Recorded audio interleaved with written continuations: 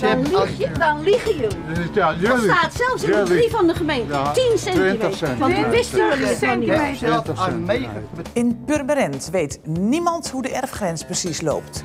De vraag is dan, worden er grenzen verlegd of worden er grenzen overschreden? Hoor ik dit nu goed? Worden, worden wij zo behandeld? Ik vind dat verschrikkelijk. Ik ben er gewoon niet voor uit te branden.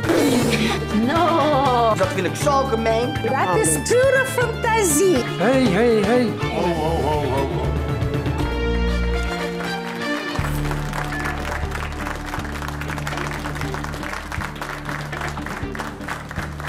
Ja, dank u wel. Welkom bij NCV's Rijdende Rechter. Eerst ontdek je dat de garage van je buurman gedeeltelijk op jouw grond staat. En dan blijkt ook de schutting niet op de juiste plek te staan. Voor de familie Krukkenberg reden om in te grijpen. Mijn buurman is acht jaar geleden begonnen met de bouw van een garage. Ik heb toen al tegen hem gezegd dat hij niet op onze grond mocht bouwen. Nu blijkt dat niet alleen zijn garage een stuk op onze erf staat, ook bij de oprit voor het huis en de schutting achter het huis komt hij over onze erfgrens heen. De buurman pikt op deze manier iedere keer wat van onze grond in. Rijdende rechter, voor ons is de maat vol. Ik eis dat alles wat de buurman op onze grond heeft gebouwd, wordt weggehaald. Ja, hartelijk welkom. Eh, hoe lang eh, wonen jullie er al? 30 jaar. 30 jaar. Ja. Dus dat is veel langer dan de buren. Ja, Wanneer kwamen die daar wonen? jaar of acht geleden. Acht geleden. Ja. En toen? Wat, wat- toen, had, toen stond er niets op die plek waar nu die Nee, vermalendijde garage staat? Nee. En eh, had u aanvankelijk goed contact met hen? Met de buren? Mevrouw? Ja, Ja. Nou, u zegt het een beetje zuinig. nou ja, Waar bestond dat uit? Dat contact? gewoon groeten en zo. Gewoon, ik bedoel, dat jullie kwamen bij elkaar over de vloer of eh, Nou, niet in die mate. kopjes suiker lenen. Nee, wat nee, je met buren doet. Maar, nou ja, toch? Daar zijn buren toch voor, onder andere. Mm. Meestal ben je met buren toch wel een beetje... Nou, dat valt wel mee. Ja? Ja, we, we spraken wel eens over dingen. Hij vertelde Ja. wel eens dingen over En werden er ook wel eens dingen overlegd? Want op een gegeven moment ging hij, hij daar een garage bouwen, ik begrepen. Nou, Ja. En, en is dat toen overlegd? Meneer? Vertel. nee, het is niet overlegd. Het is Niet. alleen gezegd, eh, we gaan een garage bouwen. En, eh, Die garage is acht jaar geleden gebouwd, daar was u gewoon bij, dus. ja, maar ik heb het uitdrukkelijk gezegd. Ja, Eh, moet je luisteren, dat is onze grond. ja. En dat- dat vond u toch niet erg? Wij vonden het wel erg. Ja. Dus zeg ik, nu is voor mij de maat vol. Nu haal ik de gemeente erbij en laat ik het opmeten. En hebt u dat gedaan? En dat hebben we gedaan. Ja. En de gemeente die zegt, inderdaad is dat uw grond... en heeft hij de garage op uw grond gebouwd. Ja. U kan er het beste werk van maken... en het eh, via de rechter eh, uitzoeken. Ja. Maar ja, nu staat u tegenover uw buren. Ja. Eh, Vindt u dat niet heel akelig? Ik vind het vervelend, ja. Maar we kunnen het er niet over ons heen laten lopen. U, u, u- dat, dat is het gevoel dat u heeft, dat, Ja. u, dat u over u heen laat Ja. lopen als u er niks aan doet. Ja, want mijn man is ziek en ik ben ziek. En dan denken ze van, nou, dat kunnen we wel doen. Maar goed, u hebt dus het gevoel dat, eh, dat ze over u heen lopen. Nou ja, eh, hij wist heel goed dat het mijn grond is. Nee, maar dat, dat, gevoel, En dat die dan- afgezien van die, van die Ja, maar na verloop het gaat erom het tijd- gevoel dat je dan hebt. Van, hé, hey, dus iedere Ja, keer... na verloop van tijd zei hij, dat is niet jouw grond, dat is mijn grond. Ja, nou ja. Als je hem allebei gebruikt, maakt het eigenlijk niet eens uit toch van wie het is. Kijk, als ik een huis heb met zoveel hectare grond, Ja. dan is het zoveel hectare grond. Ja. En de grens loopt daar waar, die, waar het kadaster aangeeft dat Ja. het loopt. Goed. En eh, vindt u dat hij de garage af moet breken? Eh, ik laat het aan de rechter over, daar heb ik het aan overgegeven. Ja. Ja, maar vindt u nou dat hij hem af moet breken of niet Ja. eigenlijk? U, u zegt ja. Goed, dat is duidelijk. We gaan naar de familie Huibrechts. De familie Huibrechts is zich van geen kwaad bewust. Ze doen toch niets zonder overleg? In 1995 zijn we gaan bouwen aan onze garage. Dit in goed overleg met de familie Krukkenberg. Op hun verzoek hebben wij 9 centimeter ruimte gelaten tussen de beide garages. En ook over het plaatsen van de schutting achter het huis is uitgebreid overlegd. Deze hebben we notabene samen betaald. Na de bouw van de garage hebben we acht jaar met plezier naast elkaar gewoond. We hebben nooit geweten dat er iets niet klopte met de erfgrens. Rijdende rechter. De erfgrens loopt al jarenlang hetzelfde. En wij willen graag dat alles blijft zoals het nu is.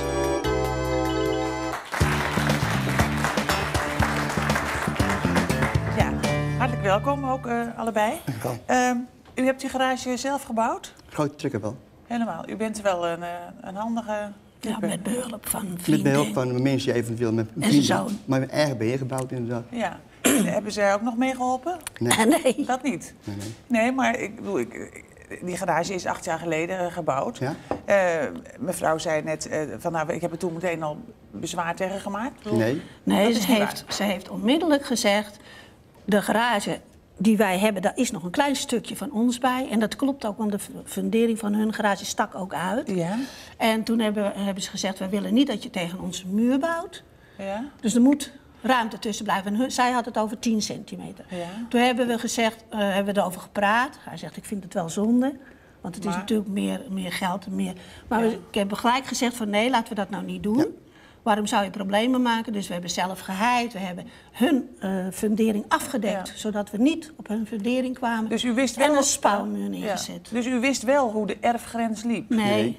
Dat wist nee, u wij, niet? wij hadden van de vorige bewoner op papier gekregen dat we drie meter hadden. hadden naast onze woning. En hun zeiden van niet, dus wij dachten van, ach, wat maken we ons die 10 centimeter uit? Ja. Wij vonden dat niet erg. Nee. U, u vond dat gewoon niet zo belangrijk, 10 Nee, ik centimeter? vond het niet belangrijk. En goed, zij vinden het wel belangrijk, kennelijk, Ja, hè? nu, nu Het wel. is geen 10 centimeter, het is meer. Dus u- Ja, u zegt 20.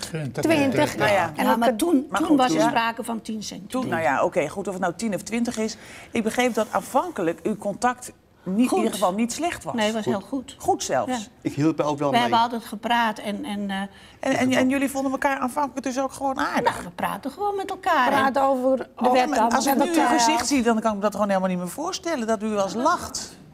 Kom bij voor. Nou, Nou, je kijkt zo zuur. Wel, Maar het, het is eh, zo, wij, als er iets in de hand was bij de, dan ging ik met hem mee en ik hielp hem. ja, want overal mee, als, bomen als, weggehaald. ze, als ze problemen hadden, kwam hij ook.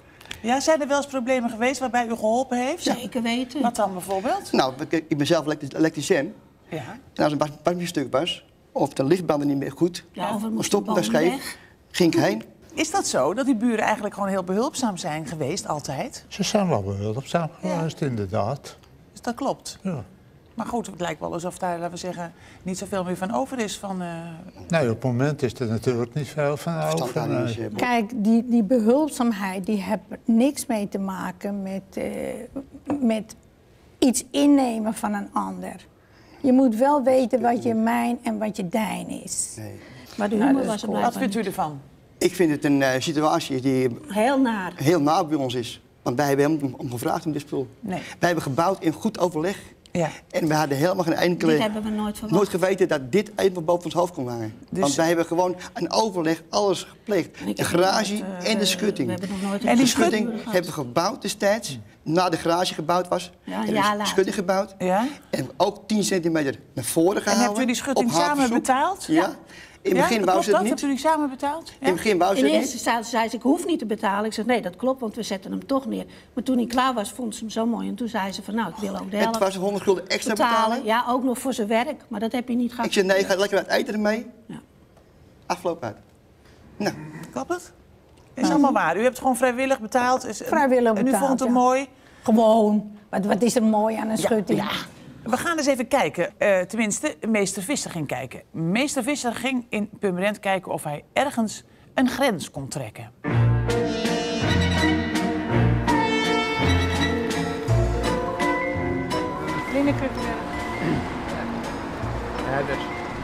En u bent onze hulp en, en eh, toeverlaat. Ja. Tja, u bent al aan het meten geweest, zie ik. Wij hebben de punten al eventjes bekendgemaakt en onze stokken opgezet. Dat ziet er niet goed uit. 17 centimeter.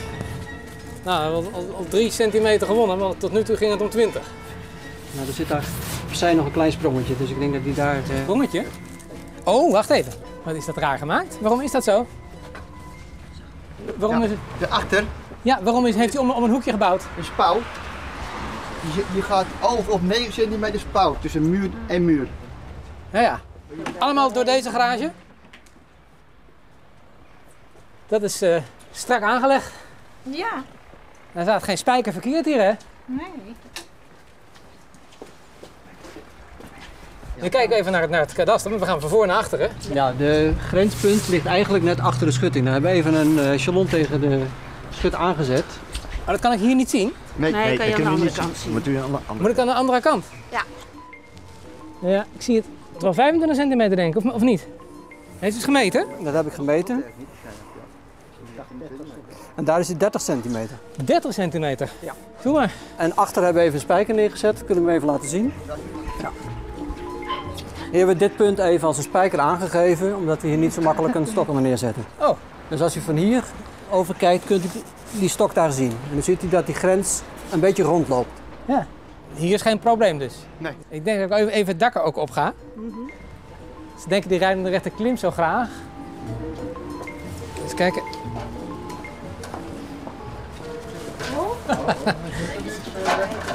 Kom even vasthouden. Nou, wel de bedoeling dat ik nog het eind van het programma haal, hè? Ja, ja. Ja, ik kan die grens hier niet zo goed zien. Maar ik zie wel dat die eh, twee garages, eh, de dakbedekking aan elkaar eh, zijn vastgeplakt, zou ik maar zeggen.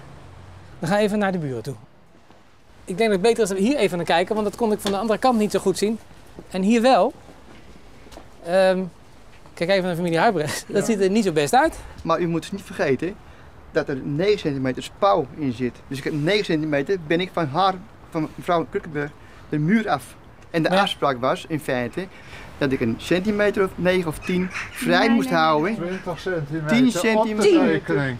Op de tekening. Op wat Ja. tekenen wel? Bij ons wordt het heb je 20 centimeter staat er bij ons. tekening ervan? die daar. eh, Oké, nou en die schutting, dat hebben we net over gehad, die is in de plaats gekomen van een oude schutting. En eh, En de andere schutting stond hier koud tegenaan.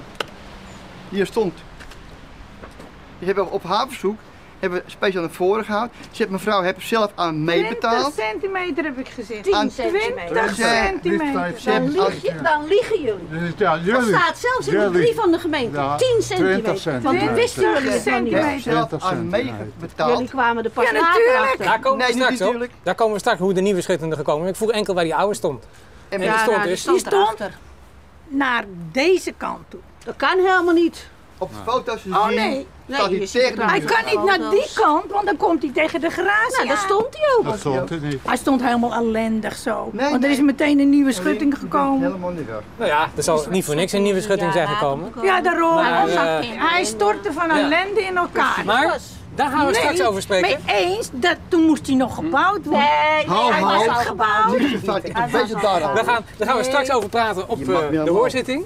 En dan komen we er, eh, nou misschien niet uit, maar in elk geval eh, gaan we erover eh, praten. Ik zie u straks terug. Daar. Tijdens de hoorzitting probeert meester Visser te achterhalen wat beide partijen nu werkelijk met elkaar hebben afgesproken. Welkom, we zijn in Purmerend. Aan de orde is de zaak van de familie Krukkenberg tegen de familie Huibrechts. Het kadaster is komen meten. En ja, familie Huibrechts zit er dik al overheen met die garage. Ik bedoel, dat is niet een centimeter. Hè. Aan de voorkant ongeveer 20 centimeter. En aan de achterkant al bijna 30. En dan die schutting die loopt dan achter wel, wel ongeveer naar het goede punt toe. Kijk ook even naar meneer Van Riel van het kadaster. Daar staat hij ongeveer goed. Daar hebben we die spijker neergezet en daar staat hij ongeveer goed. Mijn eerste vraag eigenlijk aan u is, waarom gaat u bouwen zonder eerst te meten? Ik heb gemeten. Ik wist dus, Nee, maar nu, nu hebben we goed gemeten. wij wisten geen van tweeën wat de kadastergrens was, van de erfgrens. Daar is een oplossing voor. Is, is het niet meneer Van Riel dat je niet weet hoe die, hoe die grens loopt? Wij Maar- komen graag om hem even uit te meten. Maar als je dus iets koopt bij een makelaar, Ja. dan zie je de ruimte en die koop je dan ook. Ja, ja. Er stond een heg. stond een heg helemaal van voor naar achter. Dat kan je niet, maar er stond ook nog een schuurtje. En die schuur die stond negatief tegen de garagemuur aan. De vraag is of dat zo is, want dat is een eventueel niet onbelangrijk punt. Want ik heb gelezen dat u zich op verjaring beroept. En dat komt eigenlijk hierop neer. Als je langer dan 20 jaar daar, eh, ik zal maar zeggen, dat stukje grond je hebt toegeëigend, dan wordt het eigendom. En dat zou dan hieruit moeten blijken dat de schuur eigenlijk al meer dan 20 jaar tegen hun Ja, garagemuur nou, stond. die stond Dus tegelijk niet bij de garage. 20 centimeter. Nou heb ik hier een foto. Het is jammer dat u niet de foto's heeft gemaakt toen alles nog stond zoals het stond. Maar Ja. hier bent u al begonnen aan het, aan het werk. Ja? Hier zijn alleen de bomen weggehaald. En er ziet de schuur staan en de Ik zie de schuur staan. Ja, En de heg. En de heg. voor. Precies. In de poort. En ik, hoe goed ik ook kijk op die foto, maar ik kan niet goed zien of die. Er zit iets tussen die schuur en, en, Ja. en, en, en de muur. En of dat nu lucht is, of dat het. Maar hij staat er niet tegenaan. Maar staat Nee. er niet pal tegenaan. Oké, daar zijn we het dus over eens. Ik kijk eventjes nu, want wat u wilt is dat hij viooltjes betaalt. Nou, daar begin ik niet aan, dat eh, gezeur. Dat Maar hij de bak betaalt. bij- dan dat, daar begin ik niet aan. Wij gaan het nu over echte Ja. zaken hebben en niet Ja. over een plastic bakkie. Dat kan gebeuren. Maar u wilt dat hij de garage afbreekt. Nou, afbreekt, hij kan die muur eh, terughalen. Het is een handige man, dus Ja, dus... Oh, 20 centimeter. 20 word je nog centimeter terug. je Zodat als wij eh, die water, eh, die, die houten plank Op de garage. vernieuwd boven. moet worden. Maar die blijft toch mooi droog nu? Die kan niet meer rotten. Die kan niks meer mee gebeuren. Je kan er geen spel tussen krijgen. Oh, nou. We hadden afgesproken de voorkant en de achterkant dichtgemaakt. Dat er geen katten en zo en allerlei. Oh, dat had u afgesproken. Dat hadden we Daar afgesproken. was het ook mee eens. Dat is even een belangrijke constatering. Want dat betekent. En dan dat betekent ho, ho, ho, 20 ho, ho. centimeter ervan. Dat betekent dus dat die, die spouw waar hij het over heeft, Ja, die, die die je zijmuurtjes, die mogen blijven staan dus. Nee, aan de voorkant een stuk dus dichtmaken. En, dan En aan de achterkant. En niet aan de bovenkant. Want dan kunnen we die plank niet vernieuwen. Maar als je dat doet, dan maak je een badkuip. Ja, dat, dat vinden wij dus ook. Vol water loopt. De familie Huibrechts, die heeft zijn garage gebouwd in 1995. En dan is het radiostilte tot 2003. 2003. Precies. Acht jaar lang doet u niks. Jawel, we hebben het constant hebben we het gezegd. Moet je dat dan niet zeggen als ze een bouwer zijn? Dat heb ik gezegd voor die tijd al. Nee, nee, nee. nee Voor die tijd heb als ik je het nou al toch ziet gezegd. dat de buren... Ja, maar moet u luisteren op Nee, dat... geef daar nou eens antwoord op. Als ik tegen de buren zeg, ik wil niet dat je iets tegen mijn huis aanbouwt. En, ik, Ja. en dan gaat vervolgens... Het is niet, ik heb hier allemaal foto's, het is, een, het is een klus geweest van je welste. Dat is niet in de namiddag gebeurd. Nee, Waarom maar houdt u daar niet onmiddellijk aan, aan de ik telefoon? kon het niet zien, want het is van binnenuit gebouwd. Ho, ho, ho. Van binnenuit gebouwd. Even denken aan mijn grootvader. Die heeft een keer een kippenhok gebouwd en van binnenuit die kon er niet meer uit. Nee, Ik weet niet. Maar ik heb nog steeds niet begrepen waarom hij acht jaar gewacht heeft. Maar Precies. Is toch raar. Door Nou, familieomstandigheden. laten we eerst een glaasje Ja, brouwen. en hele dan leuke familieomstandigheden. Moet u luisteren, Oh, acht jaar terug, toen was mijn schoonmoeder overleden. En zelf hebben we heel veel met ziekte te kampen gehad. Ja. En eh, meneer Huibrechts is nog sneller dan de overtoom. Ik werkte nog. En de gratie werd in tijd van ja, nee, is Ja. hij gebouwd. Ja, hoor. in een week tijd. Ja, dat is natuurlijk kool. Flauwekul. Ik geloof heb- dat hij vier ik, maanden werk heeft ik was gewoon aan het werk. Want hij overdag. werkte nog. In de ziektewet, ja. Nee, aan het werk Wel, gewoon. nee. Hij, Mag me allemaal. hij lag niet, hij was niet in de Man, ziekte. nee. Maar, maar Hij had het aan zijn rug. Ja hoor, Ja, hoor. dat zijn geen aardige dingen. Mevrouw, luister, er is wat aan de hand, maar dat heeft niks met die garage te maken. Er is iets Nou. gebeurd. U maakt mij niet wijs dat u acht jaar lang geen probleem, u in het ziekenhuis bleef, maar niet acht jaar lang. Dat er nu opeens, er is iets gebeurd, dat nu Dat is al door, al spijt al door. hij gaat iedere keer een stapje verder. Eh verleden jaar, toen zegt hij tegen me... Zeg, moet je eens goed luisteren. Jij zegt wel dat het jouw grond is, maar dat is helemaal niet zo. Het is mijn grond. En dat was de druppel die de emmer Dat heeft deed nooit door één van ons verteld. Jij hebt altijd gezegd, die steentjes die daar liggen, die zijn van mij. En toen hebben wij Niet altijd die gezegd... steentjes, die grond. Nou, de grond, oké. En heeft ze gelijk in. Ja, dat is zo. En die zijn van mij. Toen zeiden we, nou goed. Hij heeft zelfs wel eens een grapje gemaakt dat hij die steentjes aan het schoonmaken was. Want wij hielden dat, hij hield dat als schoon. En dan zei ze van, het zijn wel mijn steentjes. Zei hij, nou dan waarom wiet je ze dan zelf niet? Niet mijn steentjes, mijn grond. Klopt. Ik heb hier een foto en dat Ja. is het blauwe autootje wat ik ook bij u in de garage Ja, zag staan. En u stapt eruit aan de kant van de buren. In één keer, Ja. alle keren. Elke keer, maar Weet dat u moet wel. waarvoor? Omdat mijn man, die deur moet goed open. Mijn man heeft last van zijn benen. Hij kan niet goed Waar ben je instappen. Maar bezig waarom dan? maak je die bloembakjes dan? Omdat je man hebt gezegd, dit is mijn grond. Ja, Ach, En dat is nee, niet mens. zo. heb ik Maar luister, je maakt ruzie over een klein stukje van wie dat dan is. Dan haalt u die steentjes eruit die er prachtig lagen. Dan Prachtig niet. In elk geval ontzettend handig. U zegt mijn grond, u zet de viooltjes neer. Ja, Mijn zegen heeft u. ja. Maar dan heeft u wat moeite met uitstappen. En dan, dan, dat doen zij natuurlijk voor de grap. Om aan te geven dat u het ook niet zo nauw neemt met, met de eigendomsgrenzen. Want dan stapt u gewoon op hun grond uit. Ja, uitstappen of, de, of daar bezit van nemen, dat is wat anders. Maar we hebben er nog nooit op, we hebben er nog nooit op een bordje opgezet. We hebben er toch nooit op gezeten? Ik denk dat het maar goed is eh, dat ik eens eh, over de zaak ga nadenken. In de studio hoort u van mij wat de uitslag is. Tot die tijd moet u geduld oefenen. Bedankt voor uw aandacht. We gaan, dus, eh, we gaan dus naar de uitspraak. Want uiteindelijk zal er toch een uitspraak in het conflict moeten Ja. komen. En het is alleen maar te hopen dat dat op een of andere manier voor enige opluchting zal Nou, dat zorgen. mag wel hopen. Ja. Is in ieder geval afgelopen. De vraag is, moet meneer Huibrecht al zijn vrije uren voorlopig reserveren voor het verplaatsen van een garage? Of kan hij een andere tijdsbesteding zoeken? Hier is meester Frank Visser.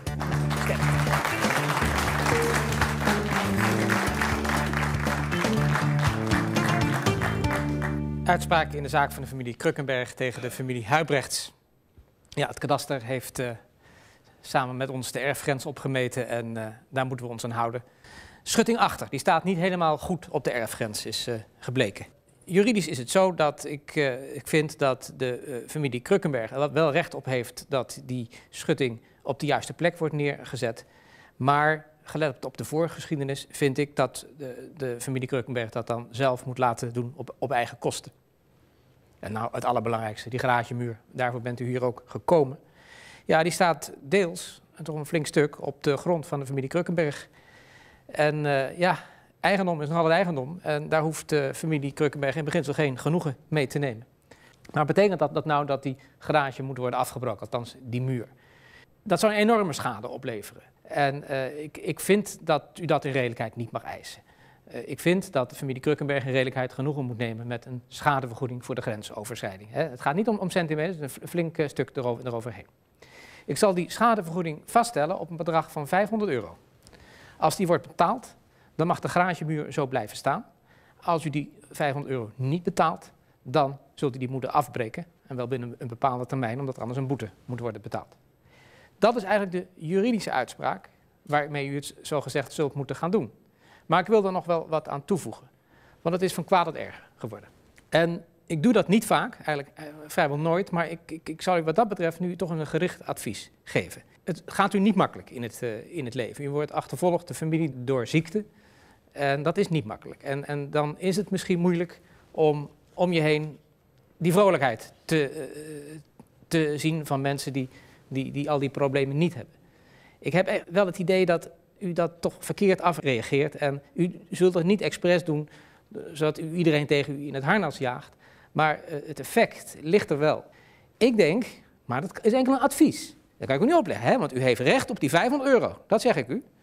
Maar ik heb een goed advies voor u. Het zou, denk ik, een hoop helpen als u de grootheid zou kunnen opbrengen om te zeggen: misschien heb ik het, misschien heb ik me niet zo als een goede buur gedragen en ik laat die 500 euro zitten. Als u dat kwijtscheldt, dat zou een groot gebaar zijn. Ik denk dat het goed zou helpen. En misschien is het goed dat u ook uw man eventjes aan, aankijkt zo en kijkt of u dat gebaar kunt, eh, kunt maken. Maar nogmaals, ik ga het u niet opleggen, want de uitspraak die ik heb gedaan, die is duidelijk. Daar zit u aan, eh, aan vast. De bal ligt bij u. Dit was mijn uitspraak en daar zult u mee moeten doen. Dank u wel.